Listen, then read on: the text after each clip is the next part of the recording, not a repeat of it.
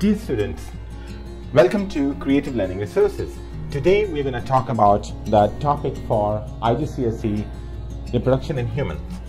In this topic, the first thing is you have to understand how to label different parts of the diagram of male reproductive organ system. So let's go to the whiteboard and I'm going to draw the male reproductive system for you.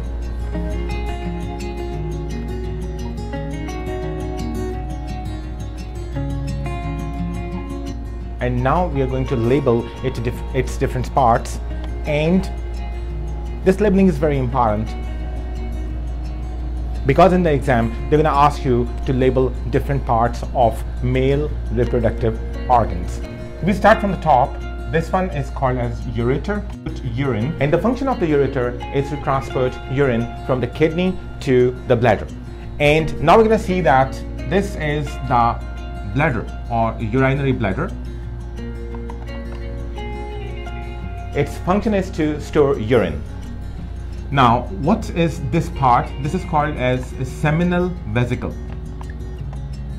What does it do? Its job is to produce the secretions which include lubricants, which include uh, nutrients for the sperms to survive. So they help actually the lubricants and the nutrients, they help sperms to survive inside the female reproductive system. Next is, of course, this one is the male reproductive organ, which is called, called as the sex organ, and its name is testis. So this is the testis. T-E-S-T-I-S is singular.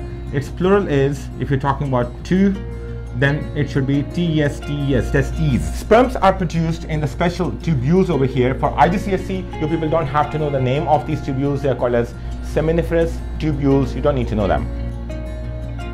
After the production of sperms, these sperms are actually stored inside this structure. This, these small tubules are called as epididymis.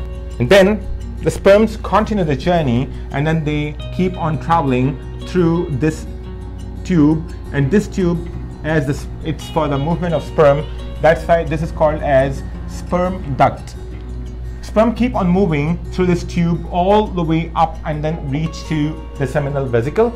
And once they reach the seminal vesicle, the secretion from the seminal vesicle is added into the secretion which is coming from the, the testes. And these secretions, they include lubricants. The sperms continue the journey and then you can see that now sperms have reached to that part of the sperm duct which is now gonna join with the tube coming from the bladder. And after this point, this tube is called as urinogenital duct. Why is it called urinogenital duct? Because this is the tube through which the urine as well as sperms both can pass. That's why it's called as urinogenital duct. But for IGCSE students, you can just call it urethra. Sperms continue the journey and eventually they reach inside the female reproductive system and this is called as semen. Semen contains secretions coming from testis as well as seminal vesicle which we have seen over here.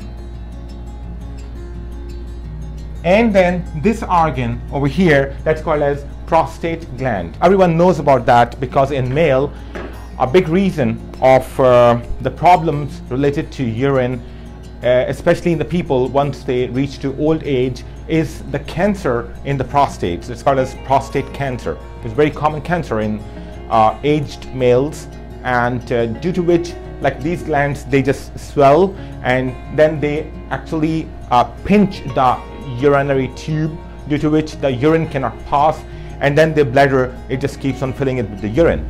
So what is the role of epididymis? Epididymis over here, this is meant for the storage of sperm. So sperms are produced in the testis. So testis is meant for production of sperm. So students, I hope that this is a very helpful video for you. For the next part of the section, you're going to watch the next video. Next part is going to come soon. Thank you very much for coming to Creative Learning Resources. All the best, take care, and have a wonderful day ahead.